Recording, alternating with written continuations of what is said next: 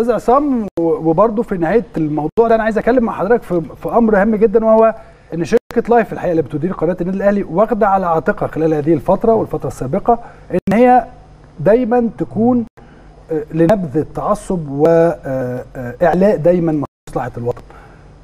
نبذ التعصب هي كلمة كبيرة جدا وكلمة واسعة جدا نقدر نتكلم فيها ولكن في النهاية إحنا بنعمل كده ليه؟ عشان نصل في النهاية نبذ تعصب عودة جمهور للملعب.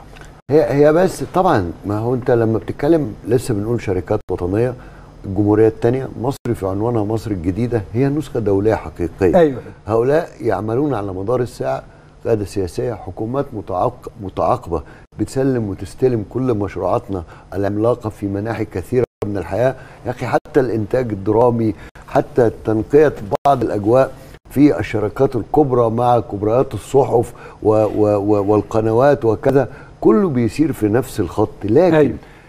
الواضح جدا إن إحنا لازم نقر إن مفيش كرة دايت. وإنه من أساء يعني من أمن العقوبة أساء الأدب هي نسخة عالمية الحقيقة.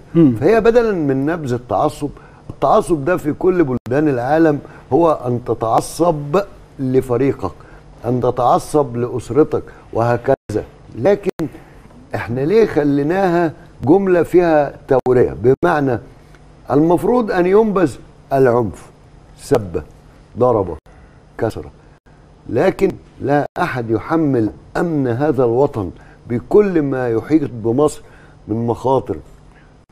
الشرطة المدنية قواتنا المسلحة تحيط مصر رغم هذا الحزام ما شاء الله بأمان 100% واللي عايز يشوف يتفرج. وهكذا من يعمل في الداخل انت بقى ليه مش عايز تحط ضابط؟ بالمناسبة في السينمات وفي داون تاون في مصر وفي كل العالم اللي مش عامل فيها أجنبي الشرطة تقف عند بوابات السينما لا شأن لها بتذكرة الدخول أو بالتفتيش الذاتي. هناك رجال أمن مدربين من أول الراجل الطيب اللي في عمارة لغاية لما بنشوفه من زمان يا أستاذ محمود يا أستاذ جمال يا أستاذ سامي لابس القميص اللبني الشيك ده والملاعب كده المفروض، اللي هو كده. الراجل بيقول عليه سيسيورتي الناس أيوة. الطيبين دول. تمام؟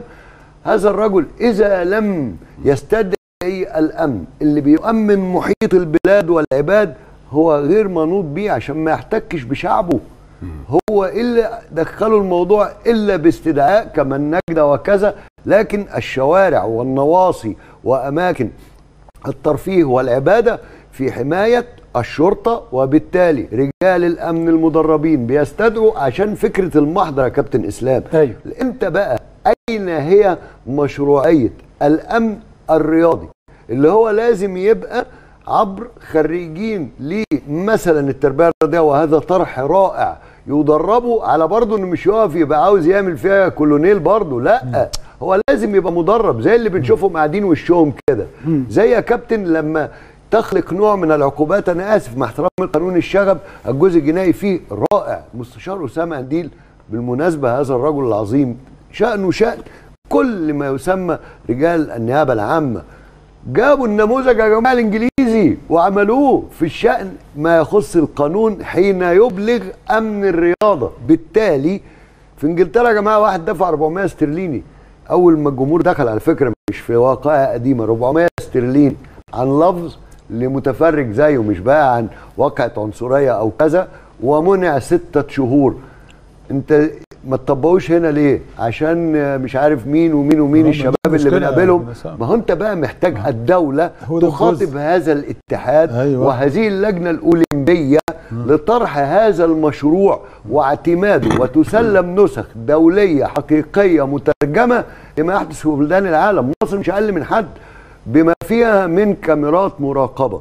لهذا الأمن الجاهز وأنا بقول لك في شركات أيضا وطنية سبحان الله وخاصة تمام اللي هي شركات الأمن آه. تأتي لتتولى. لكن لأن طيب. الموضوع أصلا ما حدش باكي عليه غير الدولة ها اللي لما عملت المشروع العظيم اللي كان 2019 در ربح غير سمعة مصر لما انفنتينو يقول نسخة دولية حقيقية. تمام لكن الناس دي هل يحاسبوا على طيب. مبيعات وتذاكر ودخل وخرج تمام. حطهم قدام مسؤوليتهم يا كابتن. اسلام أوكي. واطلب من الإعلام إنه يقول ننتظر بكرة بعده كمان شهر قبل الموسم الجديد عموما أيوه منظومة كاملة من اتحاد الكرة ترتيبات بالظبط امنيه كده، تعتمدها وزارة هو ده الداخلية هو ده